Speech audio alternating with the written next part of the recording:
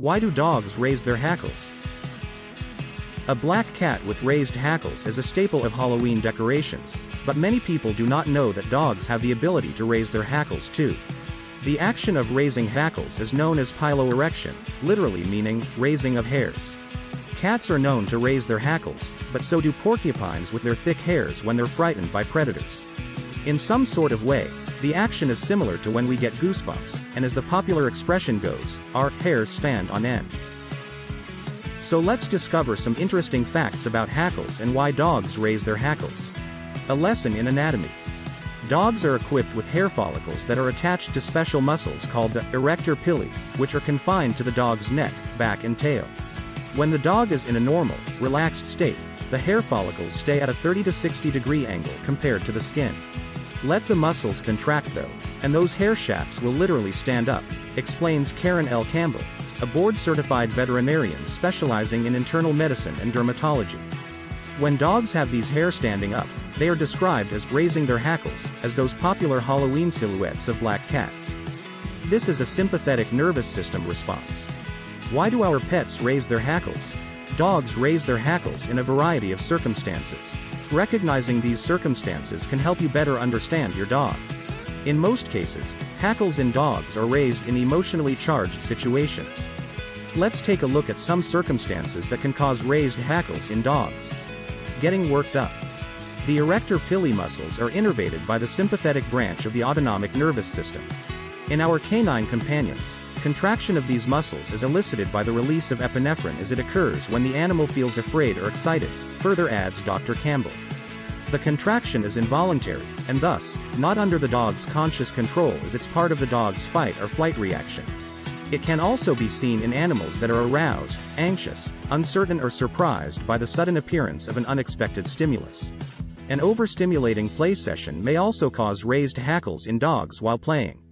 There are chances that based on the area of raised hairs, one may deduce information pertaining the dog's emotional state.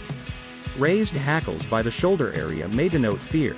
Hackles raised by the tail area may suggest confidence, while in both shoulder and base of tail, may suggest an ambivalent emotional state and conflict. Source Karen London, 2012. Most likely, just as in the cat and in the porcupine, the action of raising those hackles has some adaptive function meant to make the dog appear larger than he really is. But wait there's more. Alexandra Horowitz in her book, Inside of a Dog, What Dogs See, Smell and Know, explains that those hairs may also release the odor of skin glands located at the base of the hairs. Not necessarily aggression.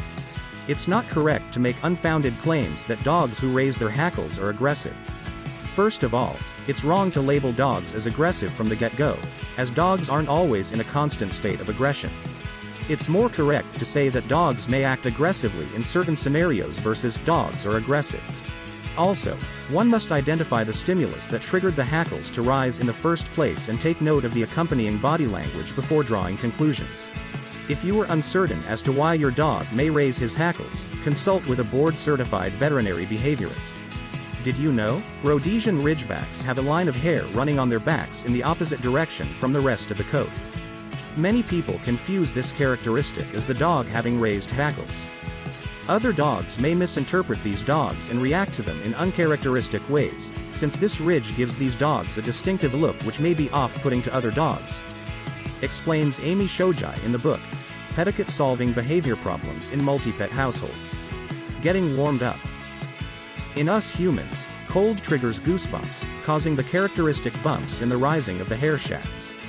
Charles Darwin in the book, The Expression of the Emotions in Man and Animals, classified the appearance of goosebumps as a vestigial reflex in humans, considering that it has lost its original function since we're no longer covered in hairs.